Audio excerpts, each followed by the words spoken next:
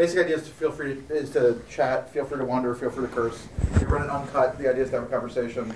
Feel free to crosstalk all Don't want. encourage me to course. I, I'm, I'm actually sworn off it. The, the, the, the wife is going to leave me Because you stopped or because you started? because uh, you're going to get. He won't I'm stop. Trying to inhibit. He's taught the kids too well. No, no. And by the way, none of them course. Oh, Isn't that? mine. It's like having an alcoholic father. That's right.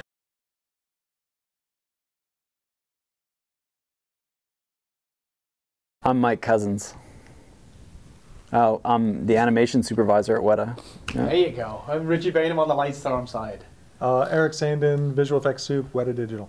Richard Hollander, visual effects soup on the Lightstorm storm, storm side. Okay.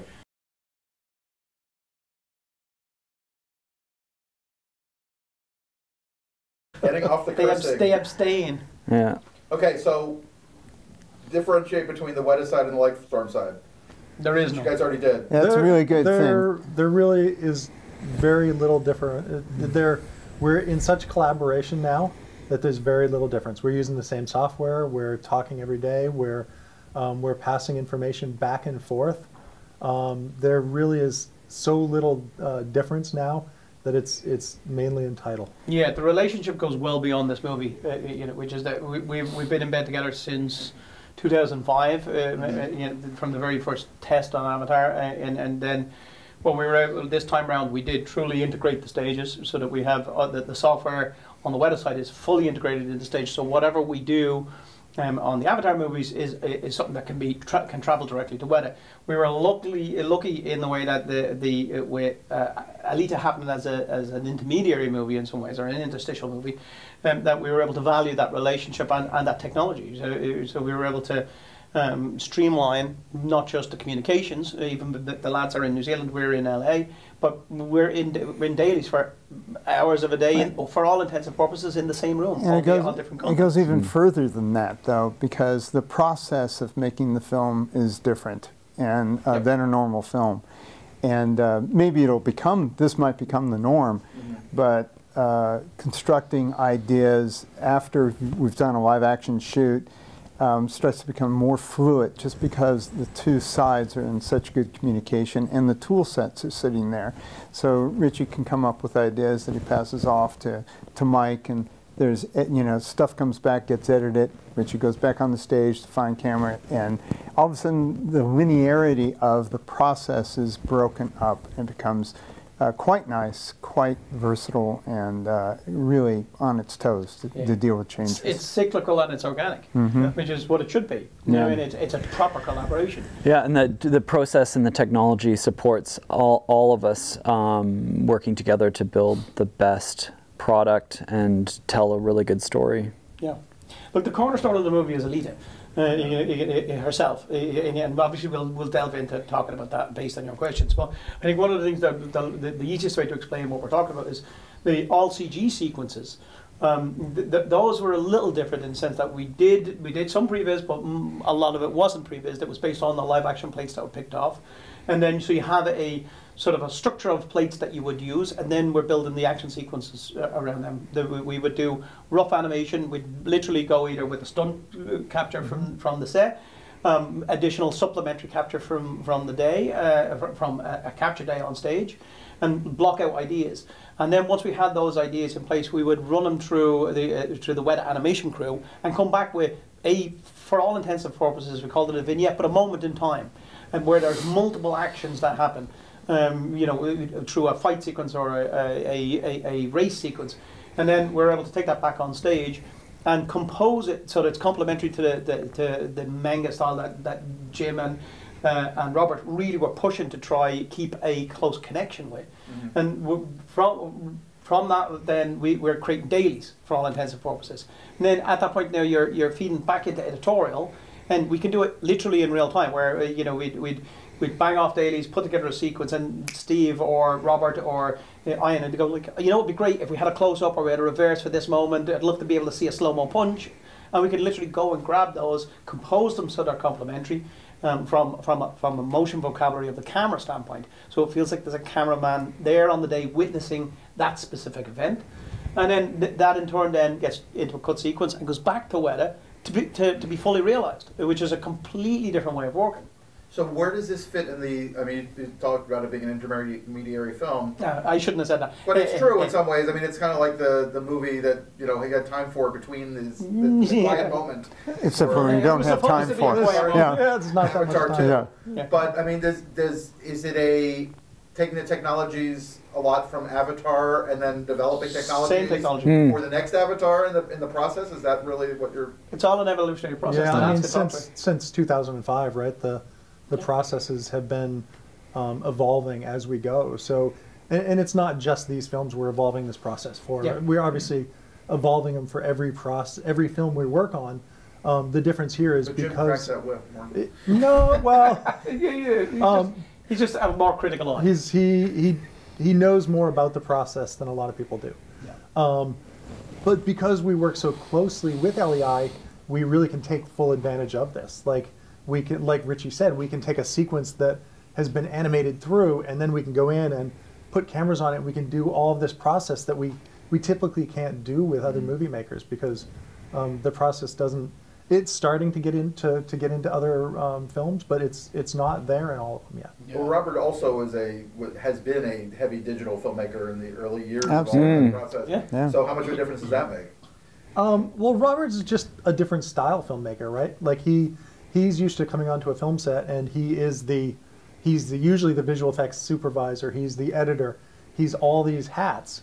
Um, and on this film, he was able to to really release some of those to um, to us. To, to We carried the we carried the weight Yeah. of some of that stuff so and that he could worry about just the Yeah. the performance of the actors.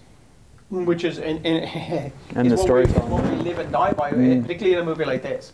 If we don't have a, a really really solid contiguous performance from Rosa, we don't have a movie.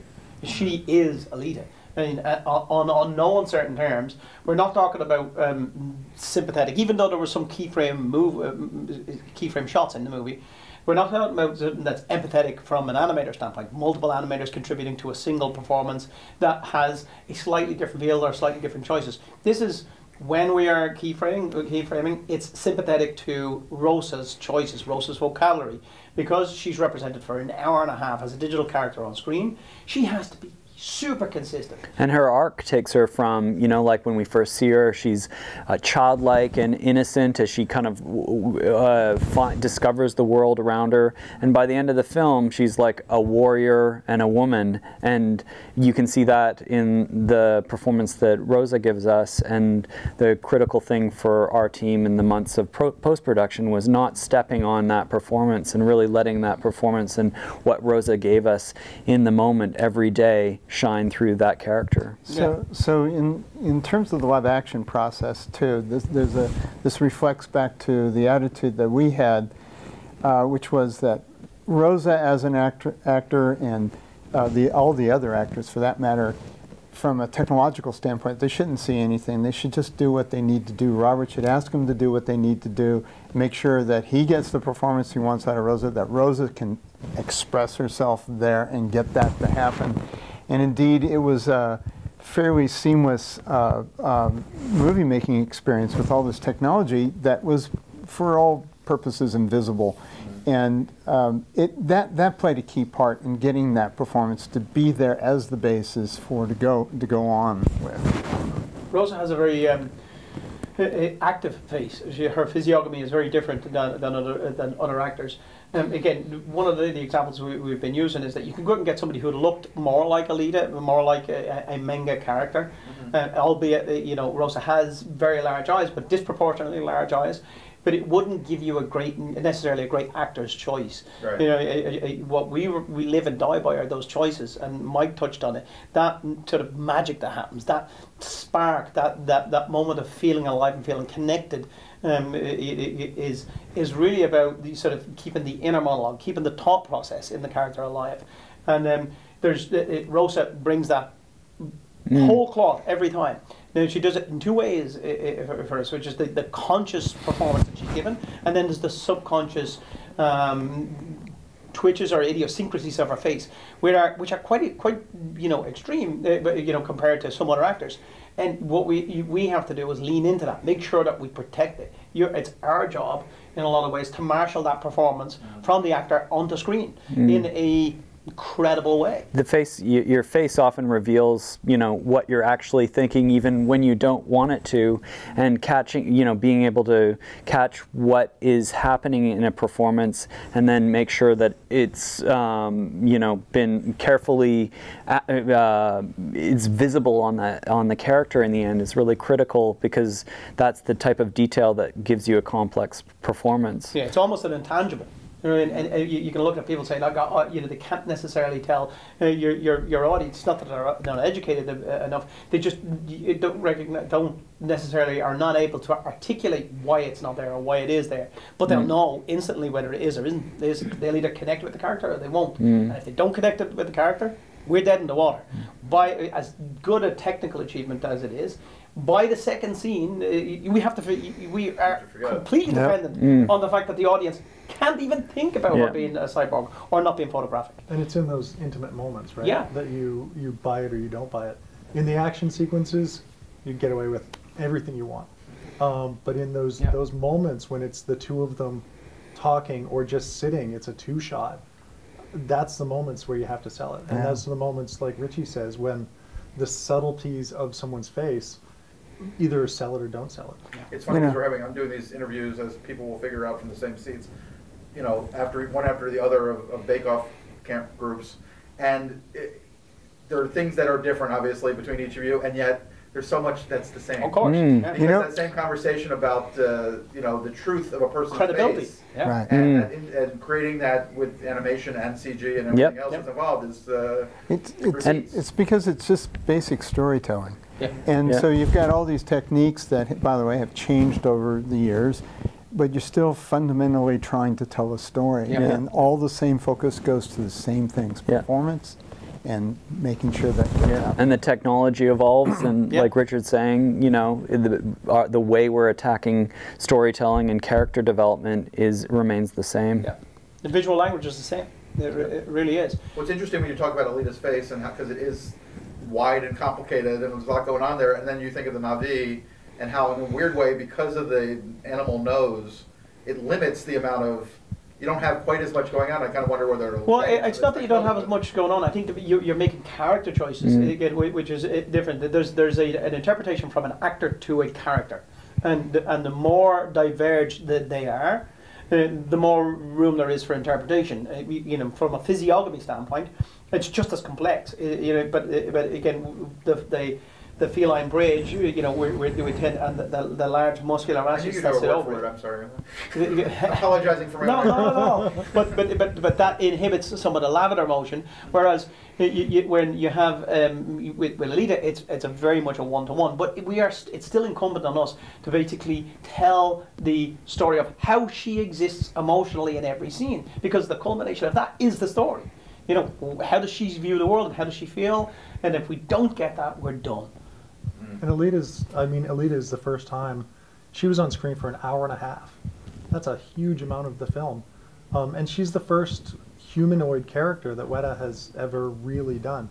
Um, we've done a little bit on a couple other films, like a few shots, Mhm. um, but Alita was on screen for an hour and a half of this movie. And uh, um, I, I mean, we did Gollum and the Na'vi, obviously, and the apes and uh, Caesar and all of them, but uh, she's a real person, human. She's an hour and a half in the film with a lot of it with another human character right Yes. next to her, Mm. which goes back to the issue of her design and sort of trumping that with her performance getting through and still working with, you know, what photographic is. integration, Right. you know, a, a, and having her exist in the world photographically with, with Exactly. Christoph Waltz yeah, and emotionally, and then to have to have the same character carried into into a full 3D world like the Motorball scene, Right. and feel like she is equally as integrated into these very broad designs uh, of, of characters or mechs or cyborgs that are so different and move differently, but Right. still feel like they exist in the same world.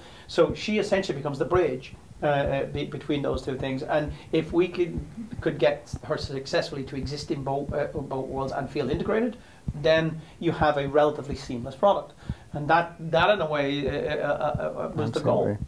It did. She does kind of uh, having seen because I have a ten-year-old, uh, Dora the Explorer.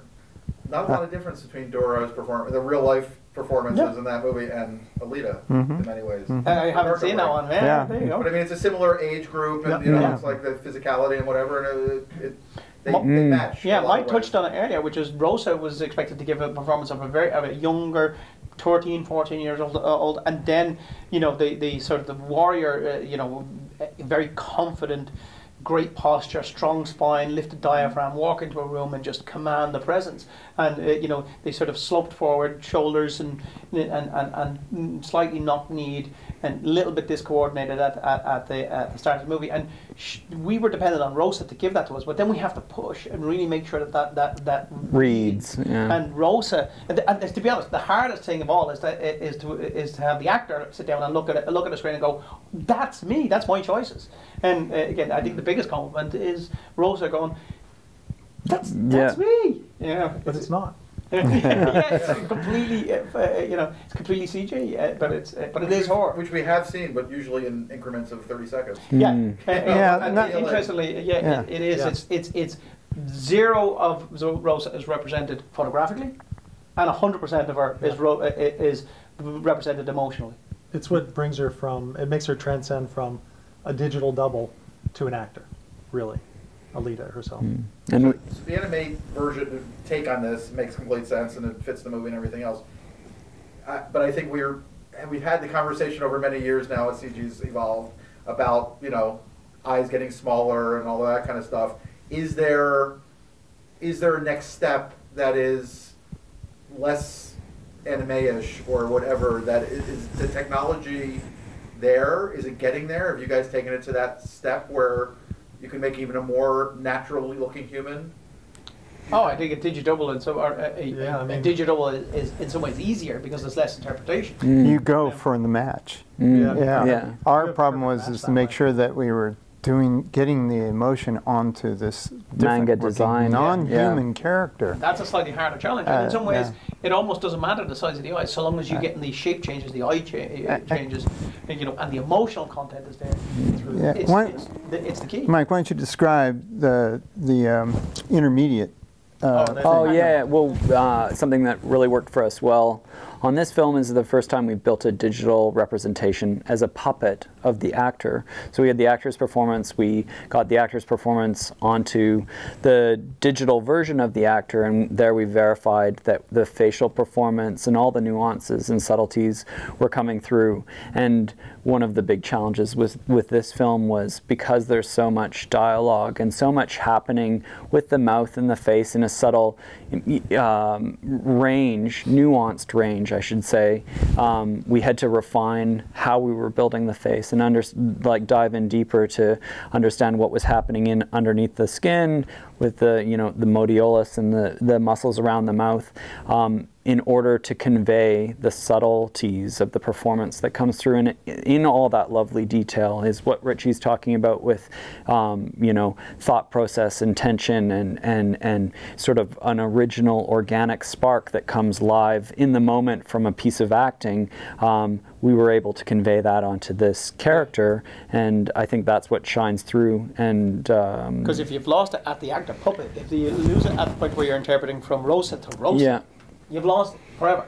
And so again, again, so you got in order to get it from Rosa to Rosa, uh, Rosa digital to uh, to to the Alita, character character puppet you yeah really have to understand what's going on from a, from a physiological standpoint. Mm. The physiognomy itself i- i- is very very detailed, and it, it, in some ways it's, it lays out similar from human to human, but it isn't exactly the same. And the order in which it fires and when it fires, why it fires, and you know that's the Yeah. that's the detail. And, that's when you get into it. Yeah, and Alita's Alita's you know like the the jump from Rosa again onto the character puppet is less real estate ar- in around the mouth and more real estate in around the eyes. But again, that became easier to understand once we knew we were translating correctly one to one from Rosa to digital Rosa.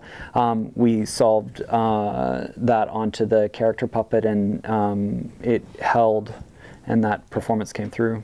Is there such a thing as maxing out where you get every muscle in every in the face or the you know where that you've done every bit of that you can?